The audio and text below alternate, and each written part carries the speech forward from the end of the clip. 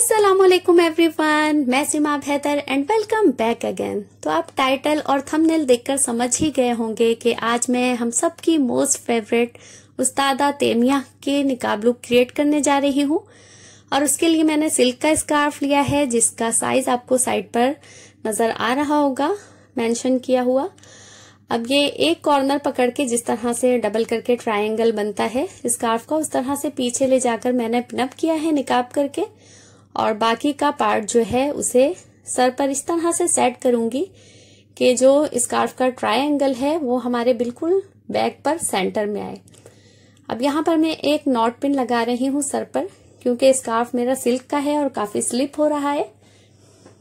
आप अगर ये वाली निकाब लुक क्रिएट करें तो मेक श्योर sure कि आप जो है शिफॉन का स्कार्फ यूज़ करें, उससे आपको आसानी रहेगी। अब ये समझने की बात यहाँ पर यह है कि इस तरह से ये जो एंगल बना है राइट साइड पर, ये देखें, इस तरह से आपने इसे होल्ड करना है फिंगर की मदद से, इसका सेंटर वाला हिस्सा, ये देखें, इस तरह से होल्ड किया और अपने निकाब के नीचे से लेकर आएँगे और लेफ़्ट साइड वाला जो पार्ट है, इसे हल्का सा ट्विस्ट देंगे। ये देखें, बिल्कुल लाइट सा ट्विस्ट देने के बाद इसे नीचे वाले पार्ट के साथ पिनअप करना है। और यहाँ पर मैं सेफ्टी पिन यूज़ करूँगी।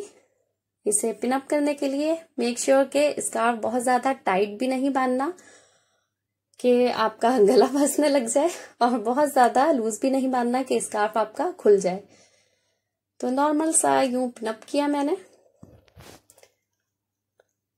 बहुत ही डिसेंट सा निकाब लुक है ये। जो कि आप रमज़ान शरीफ के महीने में भी लगा सकते हैं इस तरह से।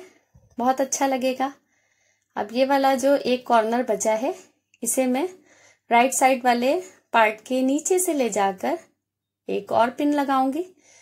तो तीन पिंस के साथ आपकी ये निकाब लुक रेडी हो गई है। अब सर वाली नॉट पिन मैंने निकाल दी है और देखें कितनी डिसेंट सी लुक लग रही है। अगर पसंद आई है आपको तो जल्दी से लाइक कर दें वीडियो को। और अगर चैनल पर आने वाले नए हैं तो जल्दी से सब्सक्राइब कर दें। कोई रिक्वेस्ट है आपकी, कोई लुक क्रिएट करवाना चाहते हैं तो मुझे इंस्टाग्राम पे पिक्चर के साथ डीएम कर सकते हैं। तो ये थी आज की वीडियो। उम्मीद है आपको पसंद आई होगी। फिर मिलते हैं नेक्स्ट वीडियो में। तब तक के लिए अल्लाह हाफिज।